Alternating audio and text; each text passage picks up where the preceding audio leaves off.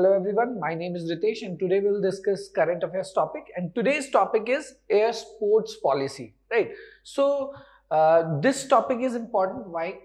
First, because this has been recently released the draft policy basically of national air sports right so uh, it's being relevant you have you must have seen the, these policies these draft uh, acts in your newspapers in your editorials right and uh, it's not just about what we are giving here right now right? In sports policy national sports policy there are so many conditions right?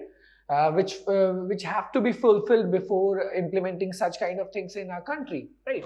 And if you see these topic as your exam as an examination point of view you will find uh, questions related to the ministries questions related to the sports right? You will go back you have to go back to the static parts of these kind of policies these kind of acts. For example i uh, today we'll talk about draft national air sports policy right?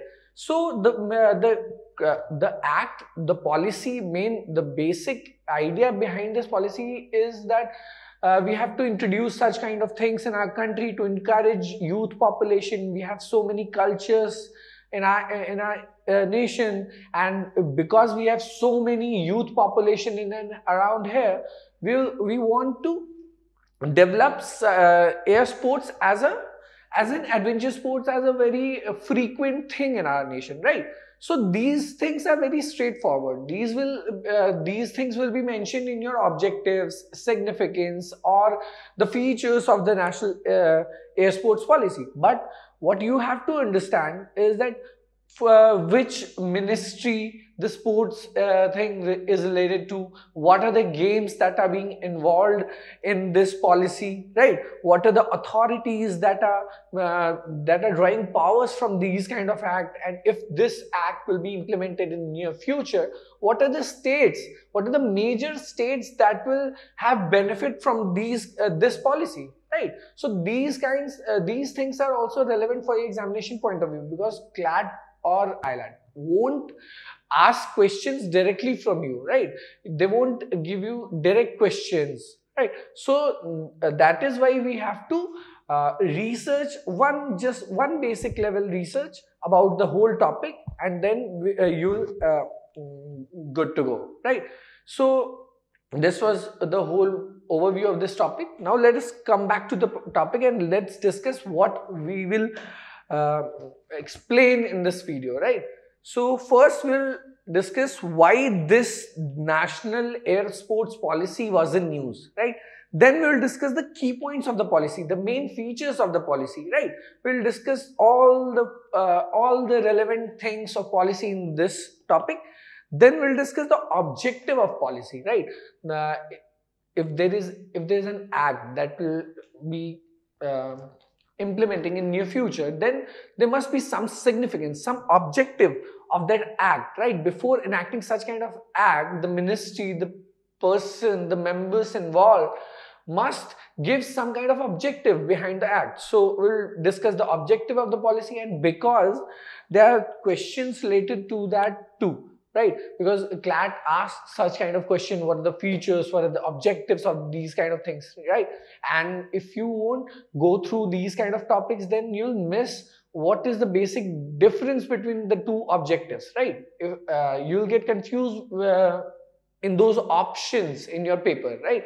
So uh, we'll have clear understanding of the policy's objective then we'll discuss the significance of this policy and last we'll discuss the government initiative related to the air sports and all kind of things, right? So let us start with this topic. First, why it was in news, right? so first, let us start with the essentials, right?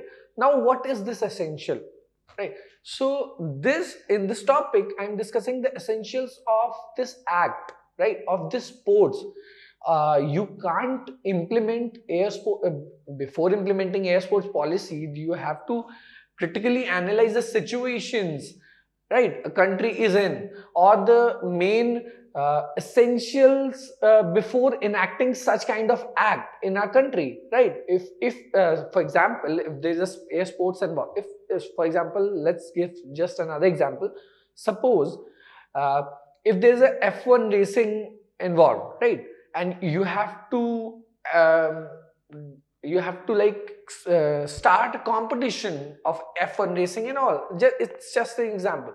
So you need such kind of space, right? In the in the area where you are going to organize such kind of event, or you need such kind of cars or such kind of expertise, right? So these kind these are the things that are essentials for starting or organizing such kind of event, right? So that that's how I'm saying that before enacting such kind of policies, you also have to enact, you have to uh, take all the essentials that are being involved in this policy, right? That are being involved not just with the policy but the air sports too, right? So what are the essentials? First, let us uh, understand this thing. First is large geographical expansion, right? Uh, in see the first essential of these kind of sports air sports is that the large ex geographical expansion and which is being fulfilled by india. Because we as a country we have a huge large geographical expansion. We have so many hilly areas which is the second condition that is hilly areas condition. So uh, for example, if you uh, go to the map of India, you'll see that there are so many hilly areas, right? In north, in south, in east, you'll, you'll notice hilly areas there. So we have a big, big opportunity over these areas to uh, organize such kind of sports over there, right? So second is fulfilled. Now third is clear sky condition. Now if you are, if you want to start organize uh, air sports for air sports. For example paragliding and all. So you need to have a clear sky right? You need uh, the weather conditions must be fulfilled before such kind of things to happen right?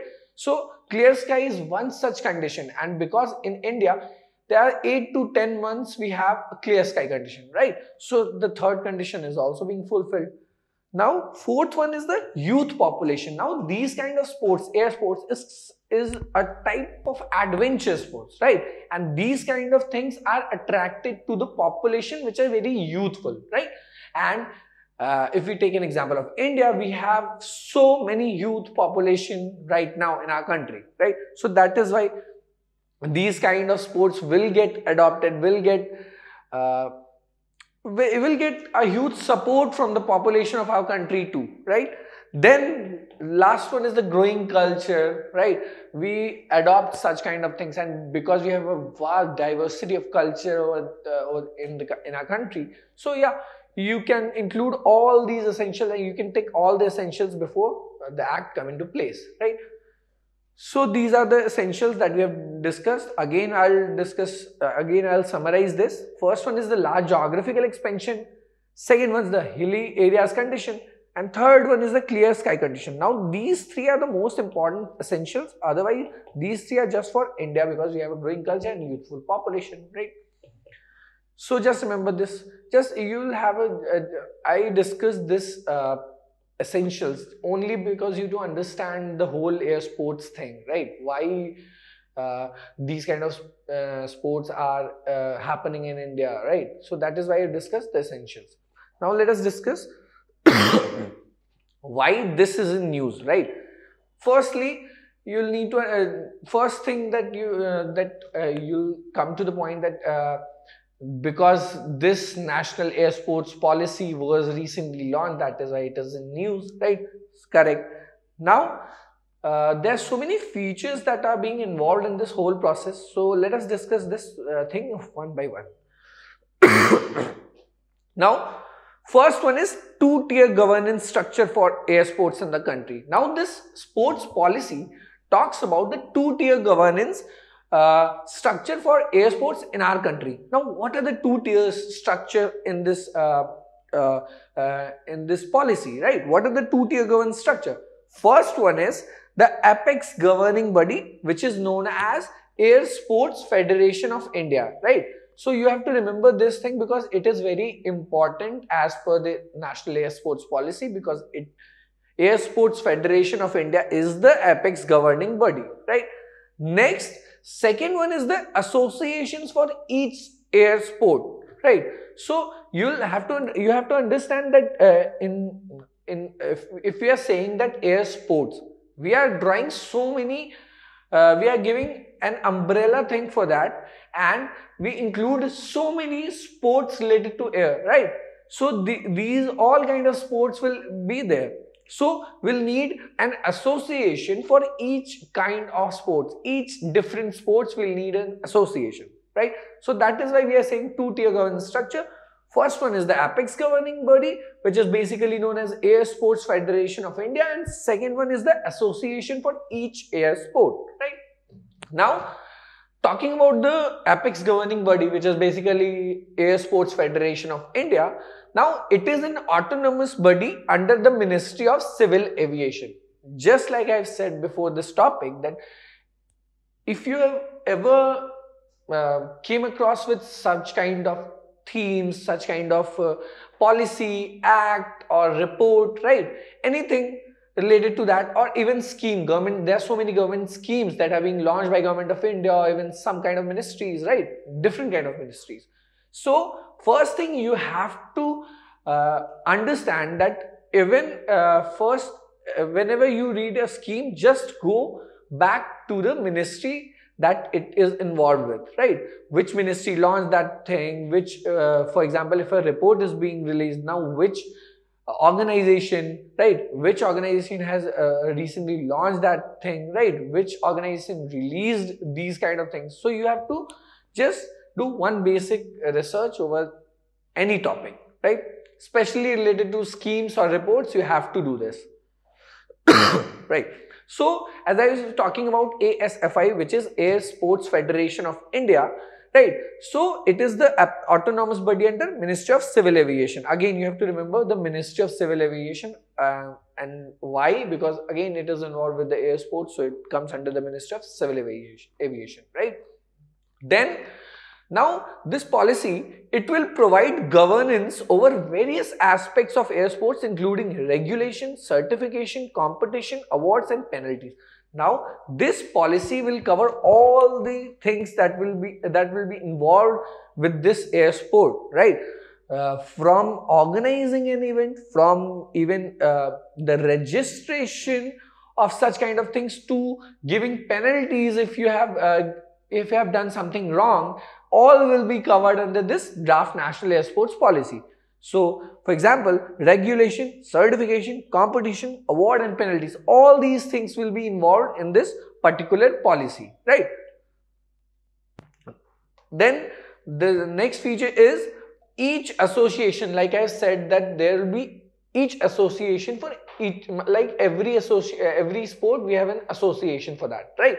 So, each association will lay down its safety standards itself, right? So this is the duty of the association itself that they have to uh, determine, they have to uh, even release what kind of safety standards uh, they are, they'll provide or what uh, what will be the X factor behind this, right? The safety standards must be there, right? Next, they will specify the disciplinary actions to be taken in case of non-compliance, right? So, now the next feature is that this policy will specify the disciplinary actions to be taken in non-compliance. Like I've said, they'll uh, they'll give us penalties in case of non-compliance. So the policy will cover uh, all the they will do all these kind of things in case of non-compliance, in case of anything wrong done to anyone under this uh, whole thing, right? So, this uh, policy will cover all these things. Next is that the penal action will be covered by the ASFI. Now, what is the ASFI? That is why I was saying that it is very important uh, uh, in this policy that Air Sports Federation of India because first thing that the policy itself says that it is the apex governing body right and the penal actions will be taken by the this uh, federation right so this is very important ASFI. Now you have to remember this because penal action will be taken by the ASFI itself, right? Next is that the popular air sports attraction can be declared as a control zone for air sports, right? So this policy says that if you want to uh, enact such kind of thing in a place, right? Uh, for example, for example, I've said that Bir Billing in Himachal Pradesh, Gangtok in Sikkim, Hadapsar in Maharashtra and Vagamon in Kerala. So the, these are the places, right, where you have everything fulfilled for such kind of sports to happen, right? So government will do, uh, gov what government will do under this act? They will declare these places as control zone areas, right? So uh, so that uh, government will uh, government will get easily access to uh, regulate such kind of things. And actually for classifying such place as a control zone the first thing will happen is that the safety standards right? So if if there's a if these places will be designated as a control zone right for air sports then all the safety standards all the precautionary measures will be taken there and uh, sports will happen in a very safe environment right? So that is why they are saying that they will designate these kind these places as control zone for air sports right? And it is the, actually the need uh, right now because uh, there so these places are very dangerous also right? So you have to take all these precautionary measures before enacting such thing or even before organizing such kind of big events there right? Next is government says uh, in the policy itself that they will allow import of air sports equipment without any import duty right? So this is the major step of government uh, in this area that they are saying that they will allow import of air sports equipment without any import duty. See, I think for the coming years, they'll they, they will allow import of these kind of equipments without any import duty. But with the coming years, they will uh, actually uh, starting. Uh, they will start doing. Uh, they'll start actually uh, taking import duty after some years in uh, so that they the, these kind of sports will get developed in our country then they'll uh, take duty as such right so for uh, but right now they are saying that they will allow import duty uh, they'll allow import of all these equipments without any import duty right now, next one is that the long-term funding for development from corporate investor sponsors events, right? So, in this kind of, uh, in these kind of things for development of such kind of big events, for development of such kind of air sports in our country, you have to take funds from all over the place, right? So, this, this is, uh, the government is saying that the long-term funding for development of such kind of sports in our country will come from corporate investors, sponsors, events. How? I can give you an example for uh, just like and uh, just take an example of IPL. So if IPL is happening in our country, government is not spending any money on this, right? All these money come from the sponsors, right? From the events, from the ads they are generating, right? So these are these kind of things generate so much money that they don't need any government support from that, right? Because I, uh, the basic example is, is of I, IPL. You can even notice these things that if they are uh, in IPL players are wearing t-shirts, wearing, wearing uh, actually uh, the jersey of their team. So in those jerseys, everywhere you can see the ads, the advertisement of in various companies. So they get money from that, those kind of things. So this is why they are saying that the long term funding uh, for development of air sports come from these kind of areas uh, too, right? Then government is saying that they rationalize GST rates on air sports equipment to 5% or less. So they are also saying that they'll rationalize GST rate on air sports equipment to 5% or less, right? So these are the main object, these are the main features of this policy, right? You have to remember all these features right? Why? Because first thing is it will first thing it will save your time from reading comprehension in your exam. Right? Because all these things will be there in a, just a paragraph size uh, paper. Right?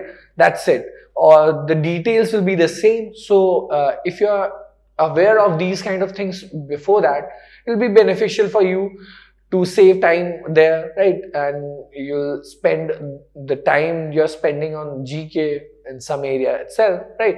So these the, these are the basically content for your air sports policy. Now, after features, let's discuss the objectives of this policy because see, uh, last year even uh, CLAT asked objective of such kind of thing.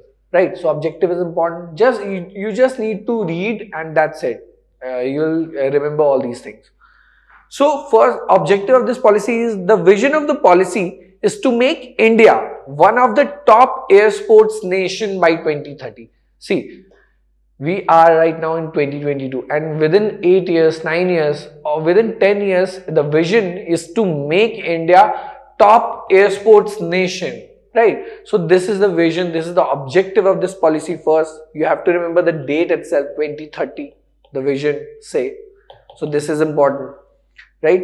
Now it says uh, the objective uh, the second objective is also to organize such kind of things to uh, uh to uh, to organize such kind of things in a very safe affordable accessible enjoyable and sustainable way right? So they are saying we are organizing these kind of events and we are organizing these kind of events in a very safe and safe, accessible, enjoyable and sustainable environment, right? So they are saying these kind of things.